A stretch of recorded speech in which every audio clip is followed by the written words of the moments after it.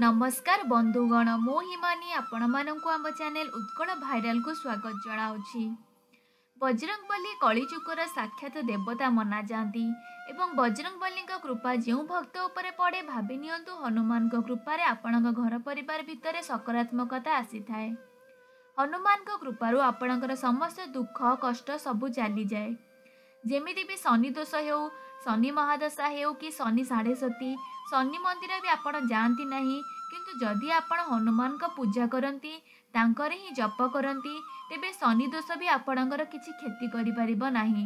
ଯଦି ଆପଣଙ୍କର ଗ୍ରହ ସ୍ଥିତି ଭଲ ଚାଲିନାହିଁ ଆପଣଙ୍କର କାମ ରୋକି ହୋଇଅଛି ଧନ ଲାଭ ହେଉନାହିଁ ତେବେ ମଙ୍ଗଳବାର ଦିନ ହନୁମାନଙ୍କ ନିମିତ୍ତ କିଛି ଉପାୟ କରନ୍ତୁ।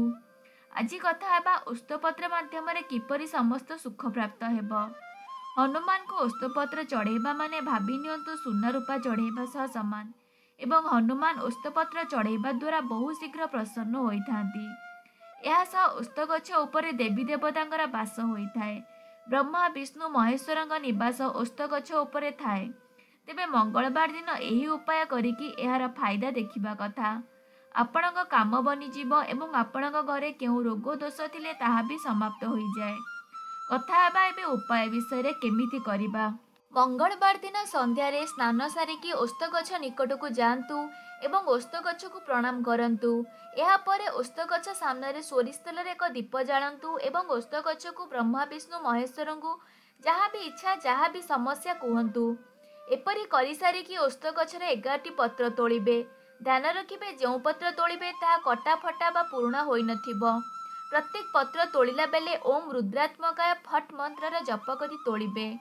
ଏହି ପତ୍ରକୁ ଆଣି ସ୍ୱଚ୍ଛ ପାଣିରେ ଗଙ୍ଗା ଜଳରେ ଧୋଇଦେବେ। ଏହାପରେ ଘରେ ଏହି ପତ୍ର ଉପରେ ସିନ୍ଦୁର ସାହାଯ୍ୟରେ ରାମ ଲେଖିବେ।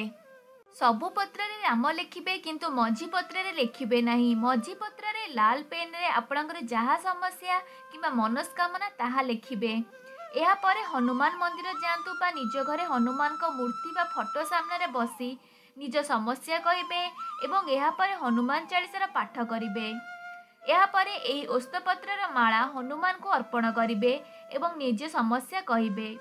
ଏହାଦ୍ୱାରା ଆପଣଙ୍କର ସମସ୍ତ ସମସ୍ୟା ଦୂର ହୋଇଯିବ। ହନୁମାନଙ୍କ କୃପା ଆପଣଙ୍କ ଘର ପରିବାର ଉପରେ ସର୍ବଦା ରହିବ। ଏହି ଉପାୟ ସାତଟି ମଙ୍ଗଳବାର କରନ୍ତୁ।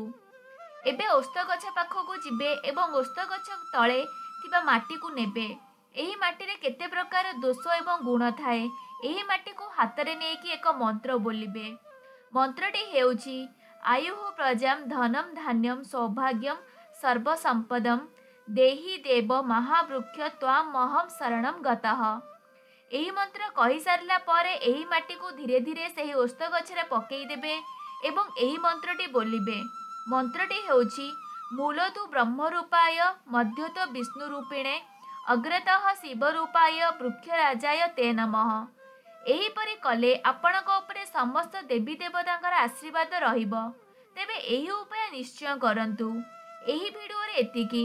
ଭିଡ଼ିଓକୁ ଲାଇକ୍ ସେୟାର କରନ୍ତୁ ଏବଂ ଆମ ଚ୍ୟାନେଲକୁ ସବସ୍କ୍ରାଇବ୍ କରନ୍ତୁ। ଧନ୍ୟବାଦ।